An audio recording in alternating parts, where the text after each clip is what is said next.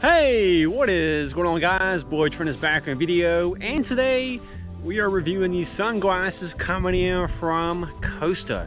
Now these are the fantail. Yes, that is what they call these, the fantail Costa sunglasses.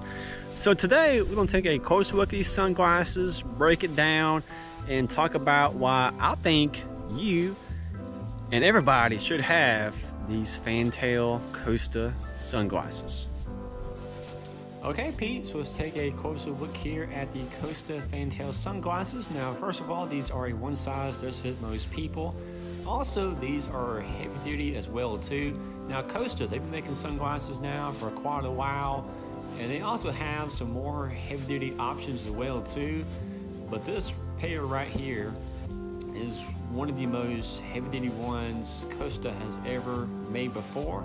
Now also the frame on these is a TR90 frame, which is a very popular frame that Costa's been using now for quite a while on a bunch of their other sunglasses as well too.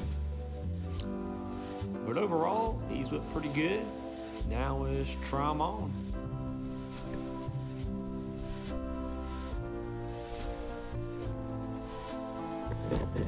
Okay peeps, that is going to be it for today's video. Hope you guys enjoyed watching the video.